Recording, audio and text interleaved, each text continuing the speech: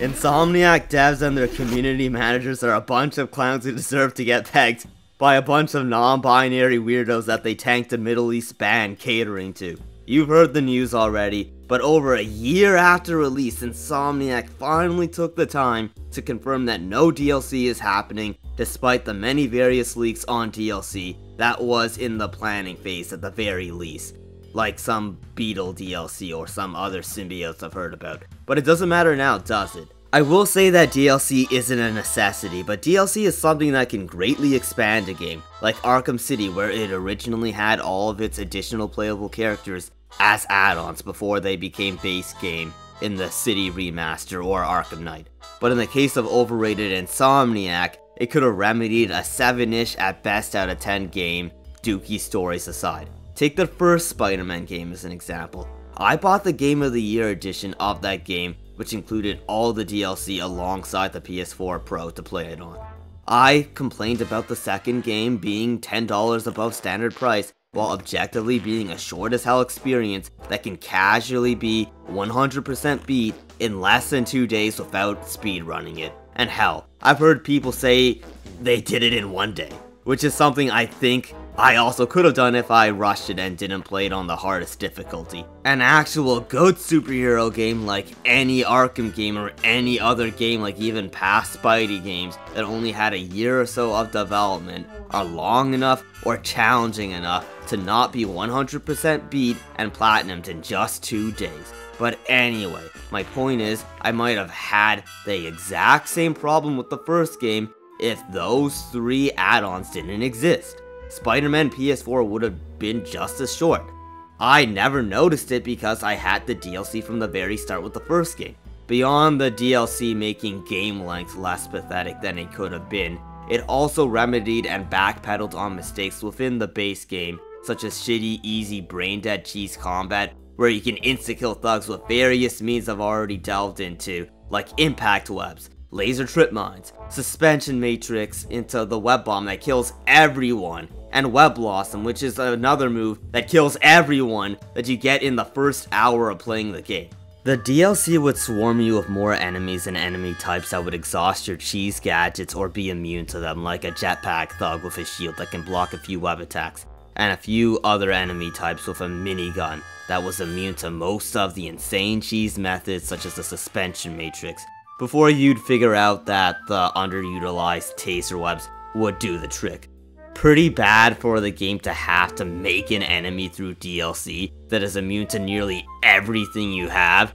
just because they messed up with how bad the cheese was with the gadgets to begin with. But the point is, DLC made things better for the game overall and was one of the main reasons I barely gave that overrated first game a generous 7. Easy mode traversal and stealth telling you if it's safe or unsafe to take out thugs and fucking shitty MJ missions still stayed ass from the first game and onward, with the slight exception of Miles Morales being the only game without dumb. MJ missions or a Spidey being fought to an even extent by humans with basic tools, hence me giving that one a more positive score than the other two. Miles could have had a DLC, but whatever, that game was sort of made as a DLC and was never fully priced, which excuses its short length. But Spider-Man 2 would still be a mid at best game with a horrible story written for short bus students that go to schools with pride flags all over the place. And even the DLC would never fix that. But the DLC would have made the game length less laughable or maybe even give Peter Parker a non-symbiote 1v1 win against a main character that objectively did not fucking happen in the base game no matter how much these zesty voiced balding cuck incels try to argue otherwise when cutscenes on his so-called one debatable 1v1 win ends up with the villain choking him out mid-fight and sparing him. This piece of superhero media is probably the most tied media associated with the word nerf, which already says enough. Try looking up Arkham Batman nerfed versus Spider-Man nerfed, and you'll sure see a difference with quantity of results Insomniac Spidey has over every other piece of media, with a lot of other people sharing similar views to mine, even if they don't have the same amount of balls I have when I roast these fugly as fuck cope loser little dweebs that defend this shit. nobody with hair on their head had to make multiple close to one hour defense debunk videos on why Batman wasn't nerfed in the game where he doesn't win against the supervillain on his own, unlike but yeah, I'm rambling, but it is unfortunate as this DLC not being a thing makes it objectively inferior to the first game in regards to game length, as they won't even let you pay them to fix that problem with DLC, in tandem with their other large inferiorities to the Arkham games, or Spidey games on the PS3 and PS2 that have way more of a skill ceiling when it comes to their traversal in tandem with faster swinging speeds than a PS5 game. I guess it's a bad sign for a game to need to be relying on DLC though, unlike Arkham games or various other games that are longer games to 100% beat even if you don't buy the add-ons. I never fully reviewed Insomniac Spider-Man 2 because I actually wanted to give that zesty game the best shot I could by reviewing it at its best with all its content included. But I guess that mid-shit show is as good as things are going to get, but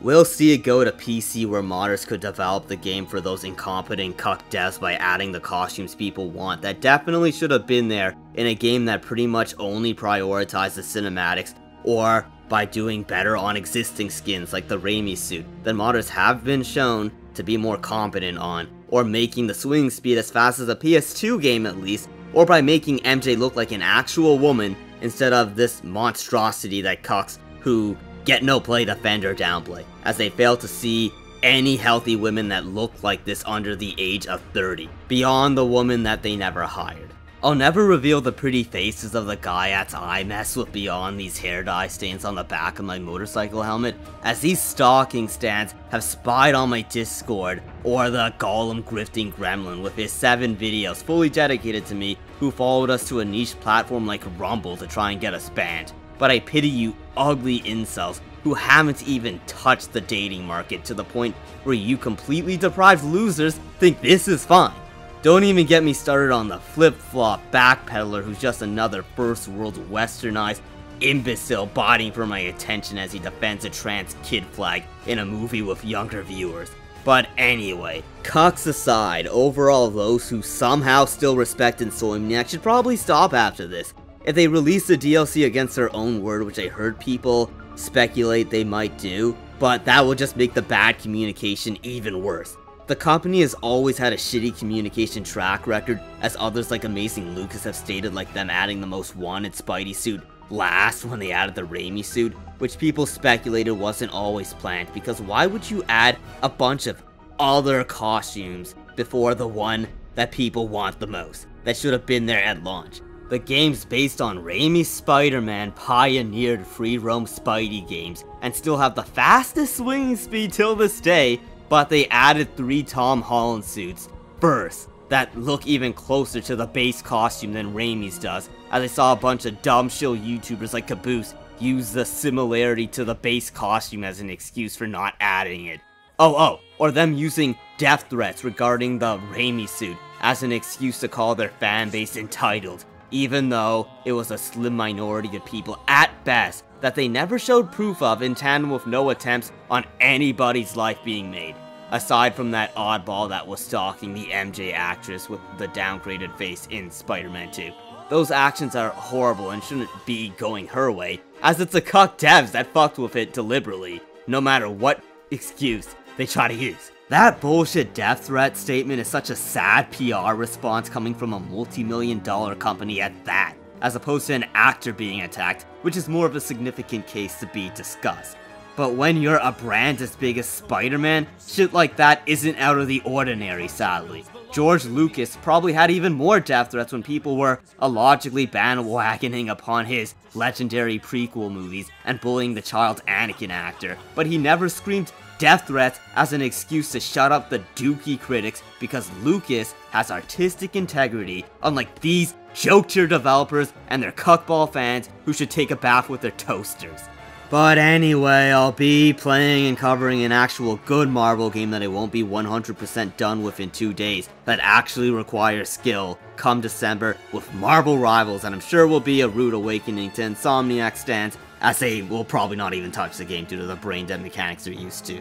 Sorry for milking yet another Insomniac video, but I'll go back to struggling to climb out of this Insomniac Marvel Spider-Man algorithm gutter I've put myself in with new DC videos despite three or so more Spidey videos I may do months down the line. Thanks for watching me roast these cuck devs and cuck stans who deserve the Big D Randy treatment this Halloween. Lunchbox.